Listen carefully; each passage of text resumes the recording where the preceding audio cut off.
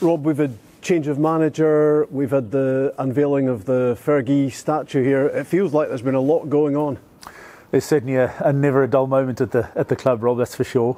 Uh, listen, the statue project was fantastic to work on. I think it's been a great success, and um, it certainly seems to have resonated with fans right around the world. We've had some lovely correspondence in from people, and uh, you know we know Sir Alex is, is delighted with it. So you know we, we move on from that, and, and you know into uh, a busy yeah, couple of weeks. We've obviously got three big crunch games coming up. We've had Jim settling in. Um, we've had our new single sign-on uh, project come to fruition now, where fans have got the ability to use one login, you know, for the website, for the retail site, for the ticketing site, um, and for Red TV. So that makes their lives a lot easier. Huge project that took a lot of time and effort right across the club. We've got the trust uh, themed match this weekend. Um, you know, and then season ticket launch as well. So it's, it's been full on, but you know, fantastic uh, to, to be involved with all of these projects and um, just a really busy time right across the club. So here we are then launching the season ticket sales for next season. What would your main message be, Rob, to fans? Rob, I'd say, you know, as, as we know, season tickets are the, the lifeblood for, for all clubs in Scotland, uh, more so than, you know, most other leagues. Uh, and season tickets really represent um, the best value for money over the course of a season by comparison to, you know, buying match, match to match you know, for me, after what's certainly been a, a difficult season, it feels a little bit like we're pushing the reset button, and I think we need everyone's support now, probably more than ever. This has been a season in which we have not met our aspirations. We know we can do better. We can perform at a far far higher level, and I think you know, getting season tickets underway signals the start of that new campaign. Um, we're looking for the fans to back Jim as best as they can, um, and for us to really move towards next season with a, a lot of optimism, um, you know, and, and, and a good headwind as we get to the new season. Just up from where we're sitting, the, the RDS Upper is going to be reopened for season ticket sales. How's that going to work, Rob? So obviously we've seen the introduction of, of the Red Shed over the last couple of seasons, and that's presented us with a couple of things that we need to think carefully about in the lower bowl of the stadium.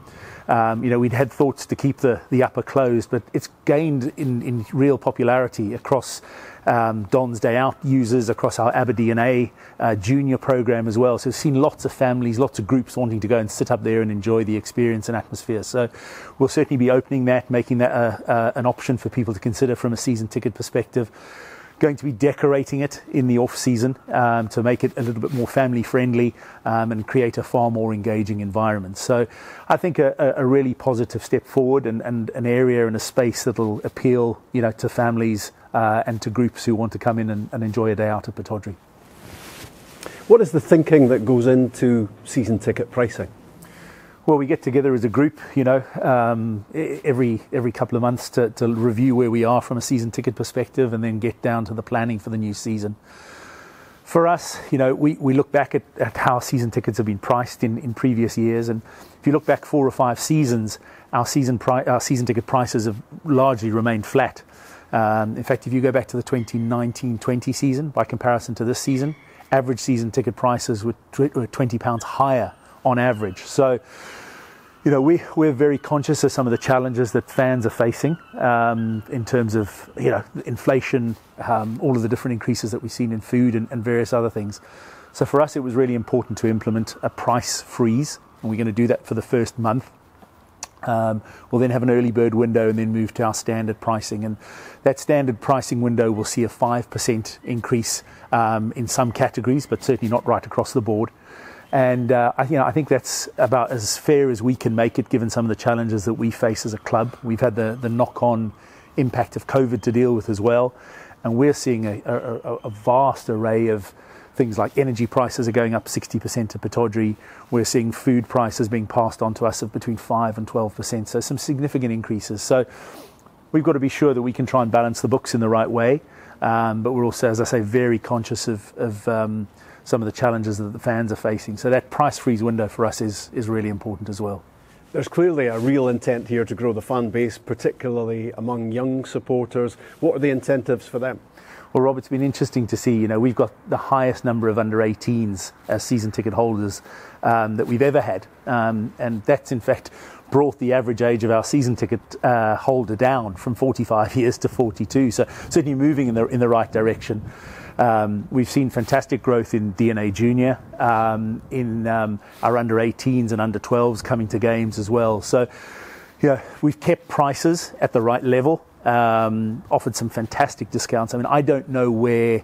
Um, you might be able to get in as an under 18 into what we class as a silver silver area at the club for 65 pounds for the whole season. So there's some real incentives for, for um, you know, younger fans to come and enjoy themselves. We've talked about the changes we're going to make to the upper RDS to create more of that family and, and that younger environment as well. And I think it's really important. We, we position ourselves as a family club.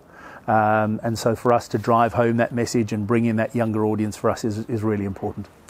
Down at the other end of the ground, the Red Shed has made a, a massive impact, hasn't it? And I know that you've got discussions planned to make some improvements in that area? Listen, the Red Shed is, is I think, the envy of many clubs in Scotland. Um, I think the atmosphere and the, the kind of vibrant nature that it, it, it brings to Pittodrie uh, and the noise and the colour has, has been a real revelation. You know, four or five years ago, I came here and it, things were really quite quiet in the stadium. You could hear a pin drop at times, and um, I think it's made a significant difference. So we want to continue to build and grow on uh, um, all of the inroads that we've made with the Red Shed. Um, there have been a couple of meetings already. There'll be a few more, particularly in the off season as, season as we build towards uh, 22, 23.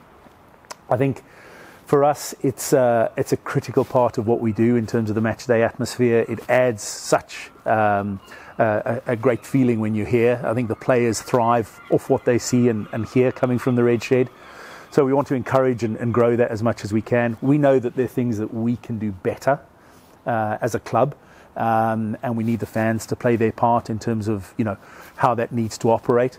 Um, but at the end of the day, it's it's an integral part of, of the match day experience. Um, and uh, you know, I think some people wonder why the shed, perhaps sometimes at times, isn't in, completely full. We've got some some challenges um, around uh, the space that's available. We've got unallocated seating, um, which was a request to us from the fans. Um, but with that comes a reduction in capacity. So we've got to keep some space on either side of the, of the shed free. Um, there's still some space uh, for people to buy season tickets for next season, but um, I think we'll see a, a full red shed in, in, in, full voice next season. You've already touched on the fact that these are really tough times for, for everyone, including the football club. But how can you help with season tickets? So for us, the price freeze window is a really important part of the strategy for the season season, uh, season ticket marketing campaign. What we're going to do is hold prices for a month um, so that people are paying no more than they did last season. For us, that's really important. Look, at the end of the day, Rob, we know the product on the park wasn't what it should have been this season, and some people might be shouting for, you know, um, reductions in season tickets the reality is that's just not going to happen. We, we can't go down that road. We've got to, um, at the very least, hold them at the level they were last season. Um, and as I say, in other areas, there are very modest increases. But the price freeze window is where I'd encourage people to, to, to get involved and, and be able to buy a season ticket at the same price as last season. We've also brought back and, and continued with our V12 finance offering. So fans who would like to pay off their season ticket over either four or six months are able to do so completely interest free. There are longer term options over 10 months that do attract a nominal interest charge, so those sorts of things are available as well. I'd also say to fans who, who aren't yet an ABBA member, think seriously about it because what it does is it brings you a 15% discount off your season ticket price if you were a premium member, plus you get next season's shirt free of charge as part of the deal, plus all the other DNA benefits that go with it as well. And I'd say as well, and you know, some fans perhaps aren't as familiar with my official appointment yet as they should be. This is our business program for local businesses that's helped many businesses get back on track through COVID. And by using some of the special offers, offers and discounts and benefits that come through that program, fans we've calculated can save at least £200 a year on things that they do annually, whether that's an MOT or a car service, various other things. So I'd encourage fans to, to go to the website, use that one login that they can use now across all of our platforms, and uh, go and see what BOA has to offer because there are a whole range of benefits that will complement um, their season ticket membership as well. It's been a challenging season, no doubt about that. A period of transition is, I guess, how you would describe things at the moment. But there seems to be overall a really positive feeling, Rob, about Jim Goodwin. I'd, I'd say that, Rob. Um, you know, I've, I've been lucky enough to spend a fair bit of time in his company in, in recent weeks at different events and, and, and meetings. He, he has um, a very clear vision of, of what he wants to achieve here. Um, that, that is very clear. But I think also he's, he's been quite blown away by you know, the scale of the club, the scale of the trust, and all the good work that it does in the community. But I think the level of resource that he has around him and the, and the wider football operation, I think, has been something that's, that's really impressed him. Um, he said to me just a couple of days ago, he said, you know, his view is all of the parts of the jigsaw puzzle are here. They just need fitting together um, slightly better. And, and, you know, he, he can see that working and, and, and growing um, in the right direction from next season on. So, you know, my, my view is, as, and as we well know, we, have done quite well out of St Mirren managers in, in, in years gone by. Um, I, I, think Jim will be very successful here. I think with the support that he knows he has from the board, with the backing that he will get from the fans, um, I, you know, I think he's got every opportunity to make a real mark here. And I think we can look forward to next season with some real optimism. You know, it's not been the season that we'd hoped for. Um, but we dust ourselves off and we, we go again. And that, that is football. That is, you know, um, the world we live in.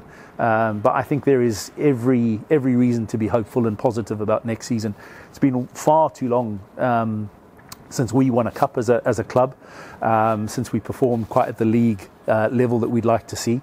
Um, and so, you know, let's look forward to 22-23 with the optimism you talk about down at the far end, apart from the lawnmower uh, in action, uh, the red shed has been in action and it's made a massive impact, hasn't it? And, and I know you've got uh, discussions, you've had some more to come about improvements in that area, and of course, Rob, you've sampled it yourself.